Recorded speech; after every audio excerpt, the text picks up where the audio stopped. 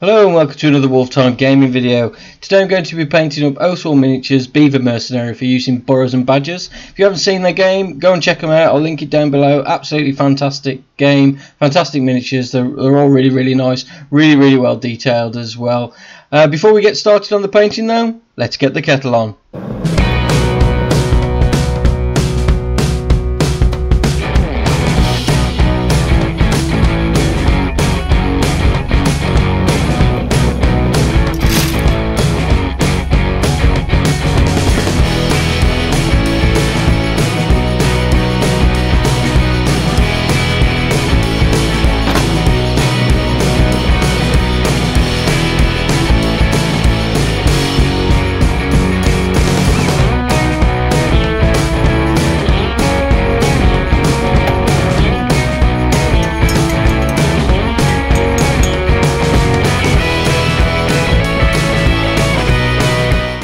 Okay, so the first thing you want to do is actually, once you've constructed it, put them together. I put a little bit of gravel on the bottom there, or fine sand, uh, just as a little bit of interest, so it's just not the plain base.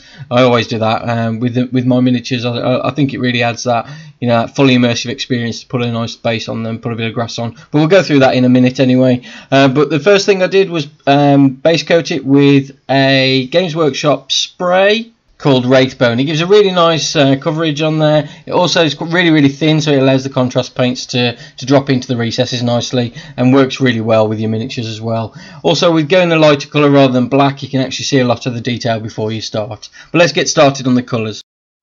Okay, so with this mini I actually started with the base, which is a little bit unusual for me. I like to start with the, the model itself, but I thought it'd be, be a little bit different with this one. I get the base painted first.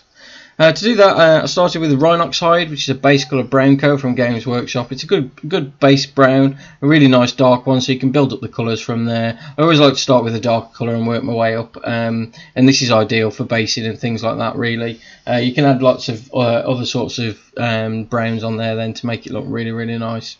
So the the second part, I, essentially, I dry brushed in Mournfang brown, which is a really uh, a much lighter brown, and it just highlights all those little edges, just in case any of the flock and that drops so it looks a little bit more natural and not that sort of uh, block.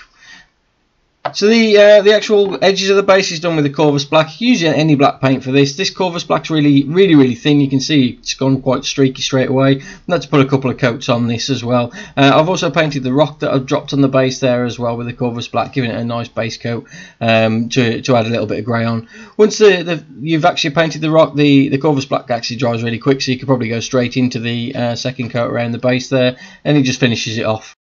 I then added a little bit of administratum grey onto that rock as well, just to highlight a few of the edges and things and make it look really, really nice.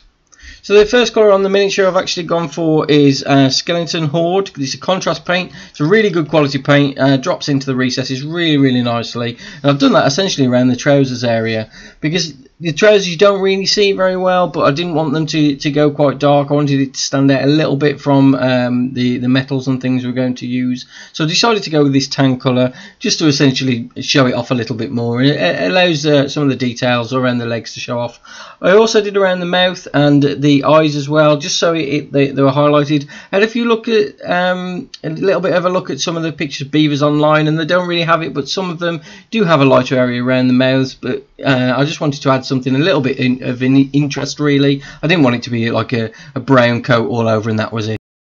And talking about a brown coat, you can actually see I've already started this one now. It's Contrast Wyldwood.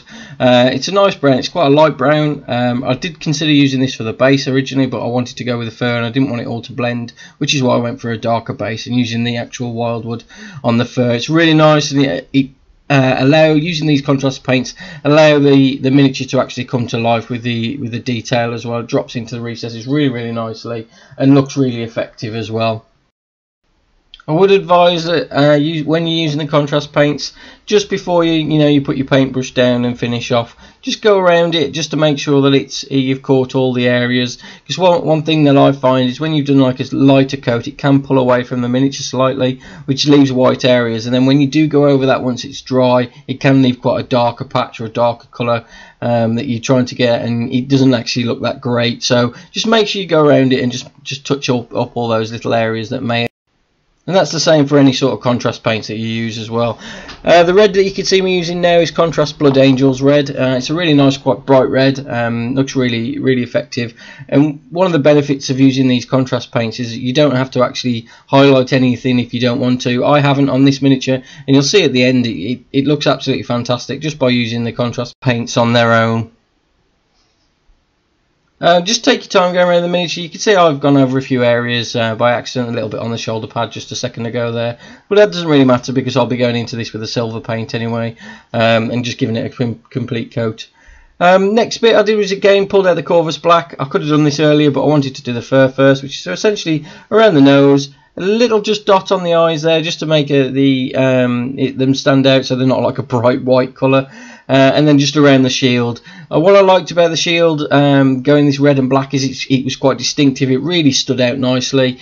I did consider going over the, the black with the silver and a dry brush just to, to make it look, look a little bit more metal. But I think this real sort of dark black colour against the red looks really effective at the same time, I also did the uh, the hilt of his weapon as well, so he's got like a little bit of what looks like leather around the weapon. Uh, again, I usually do uh, pink or red for these because I think it stands out. But with the, the the red of his clothing, I didn't want it all to blend together, so I decided to go with black. And actually, it makes it stand out really nicely and looks really effective. And I'll definitely be doing that in the future.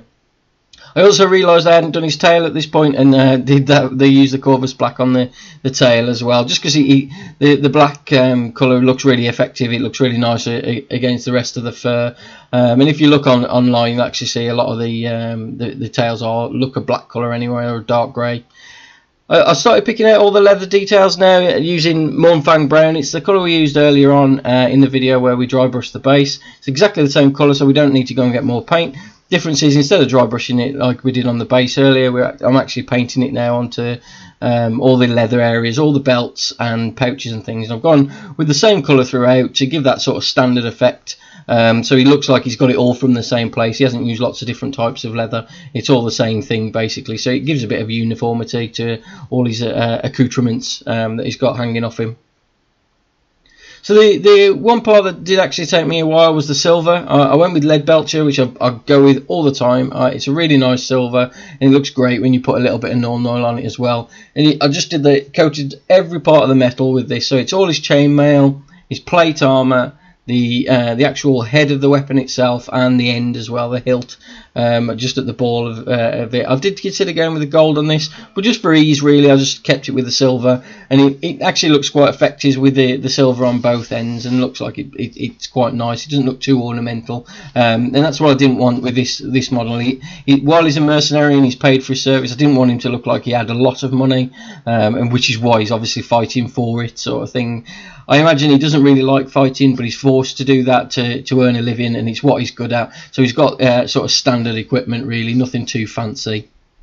Again, just take your time with this. Don't go too mad with the with the silver. You don't want to get it on any of the, the areas that you've already put the contrast paint. What you could have done is gone. I could have gone with the silver first and then contrast after, and that would have stopped me going over any areas that you don't want to. But you don't need to if you take your time. I've skipped this slightly just because it was taking quite a while to actually get that silver done and you don't want to watch me just paint silver all evening. I again pulled the Administratum Grey um, out just to give a little bit of a highlight just onto the, the weapon on, on the leather we talked about earlier that was black. Um, you can see I went to quite light with this. It was a little bit lighter than I wanted it so I darkened it down a little bit later as well. I then picked out all like his nails, um, his claws essentially, and on his feet as well, uh, with Zandri dust, um, just to just to highlight them and make them stand out a little bit more from the rest of the the, the body really. One of the final stages of painting the mini really was the, the Nuln Oil, and I, I completely coated all the silver with Nuln Oil. I, I really like uh, the effect it has uh, on the Leadbelcher. It makes it look like a real metal, really, rather than shiny silver colour. You, it adds some definition to it. It adds some shading to it as well, and really it looks really nice. I also did the black area as well on the on the weapon that we just talked about that went a bit light, and it blended that grey into the the black really really nicely. I did the, the teeth at this point as well, um, just so you added a little bit of shading around the teeth areas because they were left uh, the base colour, um, and it started to look really, really effective. Somewhere else you could have done as well was the uh, all the browns and things, which is what I used. Uh, I used Nuln Oil again on all those lighter brown areas, just to darken it down and add some shading to the actual leather work. Uh, but you don't need to, or you could use another colour like Agrax Earthshade or anything like that, really to darken it down. But Nuln Oil worked really well in this instance. So that was the actual miniature painted. So I just needed to do do the actual basing of it, and uh, to do that, first stage was essentially coat the base in PVA. Not all of it, but just uh, just a few areas, and I dropped a little bit of static grass on there. Um, a lot of people use the um, like these plastic things that essentially make the grass stand up, but I wanted it to look a little bit messy, and I added a couple of tufts on there just to add a little bit of standing grass and a few flowers just to finish it off. One thing I am going to do here that you'll see is essentially put more uh, PVA glue down and coat it over the top. And essentially what it does is just hold it, hold down all those bits and pieces that you've stuck on there. I do recommend leaving it overnight to dry, but that's in finished. Um, you can give it a quick coat of um, Munitorum varnish or anything like that really to make sure any all the paint stays on and none of it flakes off or breaks off if you knock him around. Um, but essentially the miniature's finished. I'm really pleased with how he turned out. I think he looks absolutely fantastic and I can't wait to get him on the tabletop. I hope you enjoyed the video guys. Make sure you subscribe to see any more. I've got lots more videos on the way. Make sure you do check out Oathsworn's um, website as well, link below. Otherwise, I'll see you in the next one.